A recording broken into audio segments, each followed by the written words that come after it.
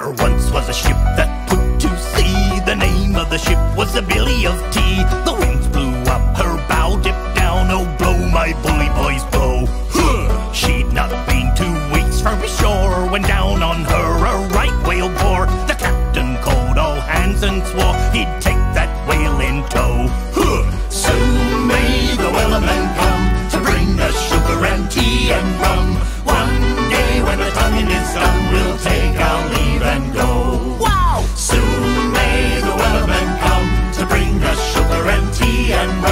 One day when the tonguing is done, we'll take our leave and go. Wow!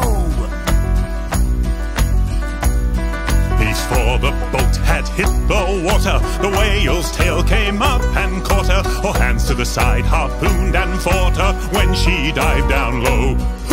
No line was cut, no whale was freed. The captain's mind was not of greed, and he belonged to the whaleman's creed. She took that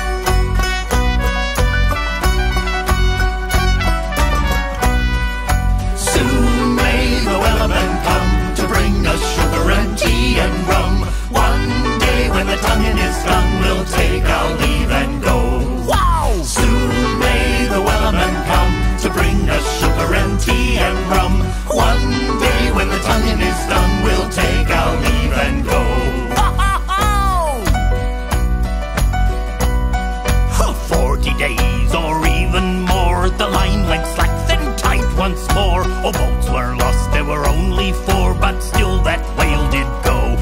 As far as I've heard, the fight's still on. The line's not cut and the whale's not gone. The Wellerman makes his regular call to encourage the captain, crew, and all. Soon may the wellerman